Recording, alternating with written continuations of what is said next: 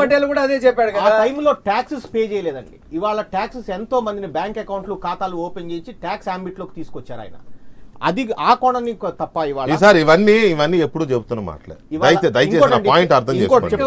చాలా కేటగారికల్గా మీరు చేస్తున్న ట్యాక్స్ ఇవ్వండి. నాకు ఒక్క నిమిషం ప్లీజ్. ప్లీజ్. ఎందుకంటే. చాలా మంది. అయితే ఇవన్నీ కూడా మీరు చూస్తా. చిదంబరం గారిని అరెస్ట్ కూడా ఇవాళ మీరు అదే కోణంలో చూడాలంటున్నాను.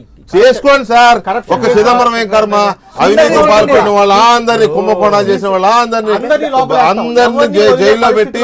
వసూలు చేయండి సార్. మేమేమీ అడ్డుపడట్లేదు. మాకు ఎలాంటి ప్రేమానురాగాలు లేవు చిదంబరం మీద కానీ ఇంకొకళ్ళ మీద కానీ exchange of information automatic cross talking వల్ల ప్రయోజనం. క్రాస్ టాకింగ్ వల్ల ప్రయోజనం చిదంబరం చిదంబరం కాదు చిదంబరం కొడుకును కూడా లోపలేయండి అలాగే? అలాగే విజయ్ మాల్యాని నీరవ్ మోదీని దేశం దాటించిన వాళ్ళని కూడా పట్టుకుని లోపల వేయండి. మీకు చేతనైతే వాళ్ళని కూడా తీసుకురండి. అనా పైసలతో సహా వసూలు చేయండి. ఎవరికి ఎలాంటి అభ్యంతరము లేదు. కానీ దేశం ఆర్థిక తిరోగమన దిశలో వెళుతోందనేది సుస్పష్టంగా కేటగారికల్గా కనబడుతోంది అక్కడ. దాంట్లో డౌట్ పడట్లేదు నేను. కాకపోతే దాని విరుద్ధంగా కూడా. సంజయ్ రెడ్డి గారు.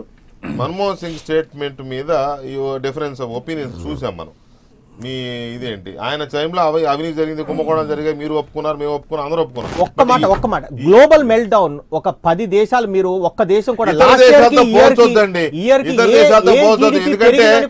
ఎందుకంటే మీది స్వదేశీ జాగరణ మంచి ఉన్న పార్టీ మీది. అవును. విదేశీ. పోలికలు ఈ. మాట కరెక్ట్ చెప్పారు. ఆ, విదేశీ పోలికలు వద్దు దయచేసి. ఎస్ ప్లీజ్ వెంకటకృష్ణ గారు మొదట రిమార్క్స్లో మీరు చెప్పారు మన్మోహన్ సింగ్ గారి గురించి. మన నాయకుడు మా నాయకుడి గురించి మేము అంత ఎక్కువగా చెప్పుకోవాల్సిన అవసరం లేదు. ఆయన ప్రపంచం మెచ్చినటువంటి మేధావి ఆర్థికవేత్త. రవిచంద్రారెడ్డి గారు చెప్పినా రఫీ గారు చెప్పినా మన సోదరుడు చెప్పినా కూడా మీ వాదనలతో ఏకీపిస్తూ మన కిలార్ చెప్పిన దాంతో వ్యతిరేకిస్తున్నాను. ఎందుకంటే డెబ్బై సంవత్సరాల నుంచి చేసినటువంటి పాపమే ఇదని చెప్పి ఆయన అన్నాడు. చాలా తప్పు. స్వాతంత్రం వచ్చినప్పుడు పద్దెనిమిది కోట్లు ఇరవై కోట్లు ఈ దేశానికి జనాభా ఈ రోజున లక్షా ముప్పై నూట ముప్పై కోట్లు జనాభా ఉండే ఈ దేశాన్ని నడిపించి యాభై ఆరు సంవత్సరాలు నడిపించినటువంటి కాంగ్రెస్ పార్టీ మీద ఆయన చేసిన ఆరోపణలు చాలా దారుణం.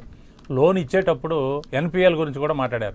లోన్ ఇచ్చేటప్పుడు వాడు కడతాడో కట్టడో మనకు తెలియదు. ఎన్పిఏ ఎప్పుడు అవుతుంది కొంతకాలం కట్టకపోతే అవుతుంది. ఎస్ ఇందా మీరు అన్నారు. కాంగ్రెస్ ప్రభుత్వంలో అన్యాయాలు అక్రమాలు జరిగినాయి దోషేశారని. దోషేసిన వాళ్ళందరినీ మేము జైల్లో పెట్టాం. మీరు విమానాలకి దేశాలు దాటించారు దేశ చరిత్రలో చెప్పేది చెప్పేది క్లీన్ చిట్ క్లీన్ చిట్ ఇప్పుడు కల్లమాటిని కూడా అరెస్ట్ చేశారు. ఆ, ఆగండి ఒక్క నిమిషం. ఇప్పుడు ప్రపంచ దేశ చరిత్రలో ప్రపంచం వద్దు. రిజర్వ్ బ్యాంక్ నుంచి డబ్బు వితౌట్ రిజర్వ్ బ్యాంక్ కన్సెంట్ కంటైనర్లో మహేశ్వర రెడ్డి ఇంటికి వెళ్ళిందా లేదా? ఇప్పుడన్నా జరిగిందా? చెప్పగలరా దానికి సమాధానం? ఎందుకు వెళ్ళింది ఆ డబ్బు? ఏమైంది? ఇందిరాగాంధీ గారు బ్యాంకుల్ని జాతీయం చేసి కొన్ని వేల బ్యాంకులు ఈ దేశంలో తీసుకొచ్చి ప్రజల కోసం పోరాడితే లాభాల్లో ఉన్న బ్యాంకుల్లోకి నష్టాల్లో ఉన్న బ్యాంకుల్ని గతంలో కొన్ని కలిపారు గత ఐదు సంవత్సరాల్లో ఇప్పుడు తీసుకొచ్చి కొన్ని కలిపారు నష్టాల్లో ఉన్న బ్యాంకులను లాభాల్లో ఉన్న బ్యాంకులు పెట్టి లెవెల్ అయిపోయిందని చెప్పడం ఎన్పిఎల్ని రాటిఫికేషన్ చేసి ఎన్పిఎల్ లేకుండా చేసాం తగ్గిందని చెప్పడం గత ఐదు సంవత్సరాల్లో ఐదు లక్షల కోట్లు కార్పొరేట్లకి మీరు ఇచ్చిన మాట నిజం కాదా? మళ్ళా పది లక్షల కోట్లు ఇవ్వడానికి మీరు సిద్ధంగా లేరా? ఉన్నారు కదా. మూడు పాయింట్ ఐదు జీడిపి సంగతి ఏంటయ్యా చెప్పండి అంటే పాక్ పాక్ ఆక్రమిత కాశ్మీర్ అంటారు. భావోద్వేగాలు రెచ్చగొట్టి పబ్బం గడుపుకోవడం తప్ప రాముని నమ్ముకుని కొంతకాలం బతికారు. బాబ్రీ మసీదు కూల్చి కొంతకాలం బతికారు. పుల్వామా దాడులతో కొంతకాలం బతికారు. మొత్తం కలిపి మీరుంది పది సంవత్సరాలు అధికారంలో. డెబ్బై మూడు సంవత్సరాల్లో పది సంవత్సరాలు అధికారంలో ఉన్నారు ఈ దేశాన్ని నిర్మించింది పిల్లకాలం నుంచి ప్రాజెక్టు వరకు ఈ దేశంలో ఉన్న వేల ప్రాజెక్టులు కట్టింది మేము. లక్షల పరిశ్రమలు పెట్టింది మేము. దేశాన్ని ముందుకు నడిపింది మేము. దేశాన్ని నాశనం చేసింది మీరు. ఈ భారతదేశం గురించి మాట్లాడే హక్కు భారతీయ జనతా పార్టీ నాయకులకు లేదు. ఎవరినైనా జైల్లో పెట్టండి. చిదంబరం ఏంటి? చింతకాయ ఏంటి? కావూరు సాయంత్రం ఏంటి? వంకాయ ఏంటి? మీ పార్టీలో చేరంగానే పత్తితులు అయిపోతారు వీళ్ళందరూ. నిన్నగాక మొన్న ఎంతమంది చేరారు మీ పార్టీలో. ఎక్కడున్నారు వాళ్ళందరూ? ఎవరు వాళ్ళంతా? ఆంధ్ర బ్యాంకును దోసిన వాళ్ళు మిగతా బ్యాంకును దోసిన వాళ్ళు వాళ్ళు ఎందుకు పట్టుకోలేకపోతున్నారు మీరు? మీరా భారతదేశం గురించి మాట్లాడేది. డెబ్బై సంవత్సరాల పాపం ఇది. ఆరు సంవత్సరాల పాపం. వాజ్పేయి గారిని తీసేయాలి. అద్వానీ గారిని తీసేయాలి.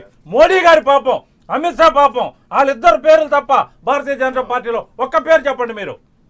ఏనాడు పది సంవత్సరాల అధికారంలో ఉన్న ప్రస్తుతం ముందుకు రానటువంటి. మోడీ గారు? అన్న ఒక్క నిమిషం. మోడీ మన మన్మోహన్ సింగ్ గారు మీడియా ముందుకు వచ్చారు శివసేన నాయకులు సిగ్గు వదలి నువ్వు వెళ్ళు. మన్మోహన్ సింగ్ దగ్గరికి. ఆయన ఏమనుకోడు? ఆర్థిక సలహాలు మీరు తీసుకోండి ఆయన దగ్గర. రాజకీయంగా చూడొద్దు. దేశం నాశనం అయిపోతుంది. అన్న తరువాత మోడీ గారు వెళ్ళి గౌరవ గౌరవంగా సలహా తీసుకున్న తర్వాత మీరు ఇక్కడికి వచ్చి డెబ్బై సంవత్సరాలు పాపం అంటారా?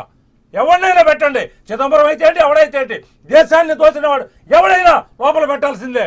ఏం మాట్లాడతారండి బీజేపీ నాయకులు? సిగ్గుండాలి మాట్లాడటానికి. రైట్? నిజానికి ఒక పార్టీ తరఫున ఒక ప్రతినిధి ఉండగా నేను నా డిబేట్స్లో అదే పార్టీ నుంచి ఇంకొకరిని ఎంటర్టైన్ చేయని తీసుకోను. కాకపోతే మీ పార్టీ నుంచి దినకర్ గారు లైన్లోకి వచ్చారు. చార్టెడ్ అకౌంటెంట్ కదా కొంత అదనపు సమాచారం ఏదో చెబుదామని వచ్చారేమో.